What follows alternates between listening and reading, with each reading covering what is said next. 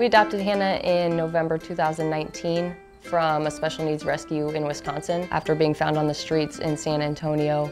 She was about to turn three years old and had been shuffled around between shelters and rescues. They were unable to find a home for her.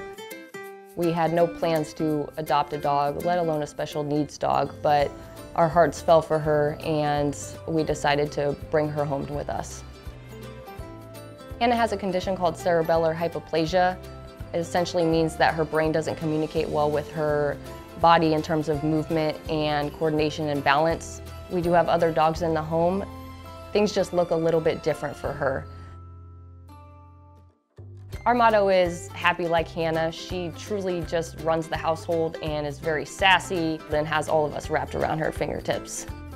She can do all the things that the other dogs can do. She just needs some extra supports for some of those things.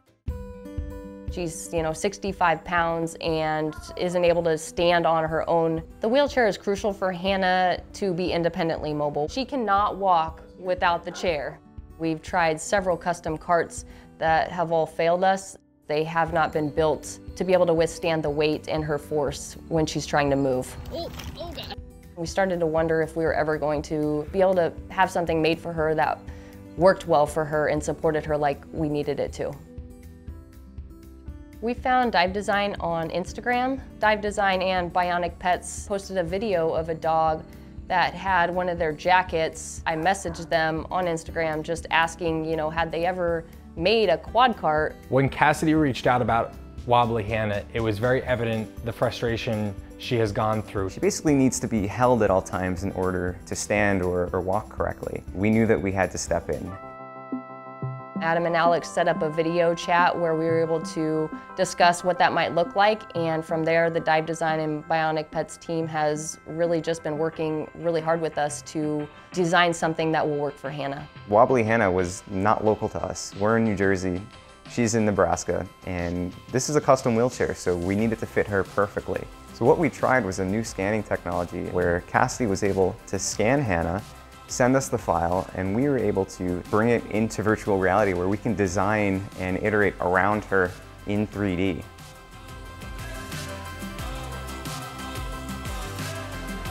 After a lot of iterating, we were ready to start 3D printing different prototypes to start testing our designs. We didn't know of a material that would really be able to work for this. We needed something lightweight, yet still durable and had the stiffness of something reinforced but there weren't really many accessible options on the market, so we were really left hanging with what we would be able to use. So I was at home, I was scrolling on Instagram, and I came across Dive Design Instagram feed, and they were doing some really amazing work with bionic pets. I myself am a pet owner, so I immediately gravitated towards what they were doing, so I decided to reach out to them. When we had the opportunity to tell Braskem about Wobbly Hannah and the challenges that we were going through finding material that was going to be right for this, I think they felt just as motivated to help as we did. They showed us her feed and we immediately just fell in love with this dog. Lucky for us, they had a material that was going to be a great solution. Polypropylene is not new to 3D printing. It's been around for a while, but it's traditionally been hard to print, high warpage, poor interlayer adhesion. We wanted to solve those things. And for the past two years, we've been developing a formulation specifically designed for 3D printing our carbon fiber reinforced polypropylene is six times stronger than our unfilled PP. If you can print with PLA, there's a good chance you can print with our polypropylene. We were a little bit worried at first just from our prior experience with printing polypropylene, but this was actually really exciting when we started printing it and it was sticking perfectly. The parts were coming off incredibly clean. The surface finish was like flawless. We just haven't seen something like that in a consumer grade material, so we were super excited to see this all put together.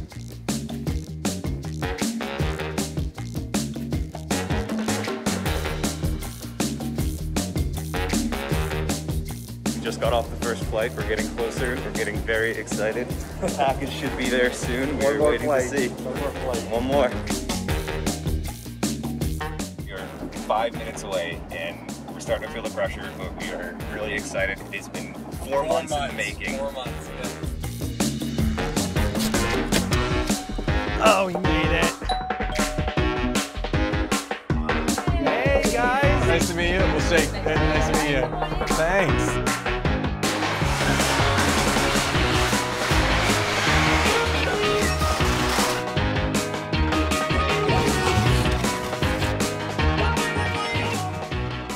Cases like this are one of our favorites because we really get to be innovative. We really get to explore not only on the material side, but also on the design side. We have a lot of freedom here to come up with a solution that's never really been done before. There's no model for us to follow. There's no real guide to how to build these things. So it's really up to us to test, to iterate, to prototype, and go through that as many times as we need to to make this right.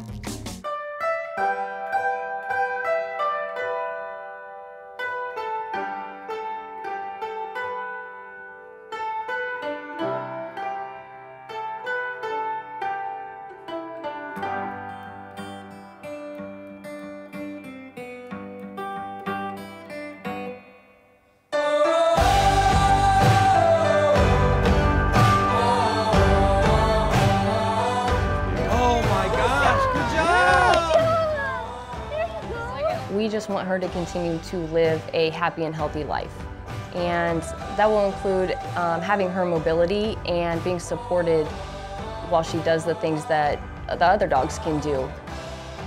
Even greater than that, my hope is that making this cart and having this design helps so many more pets to have the life that she does. If that's what her legacy ends up being, then that's wonderful.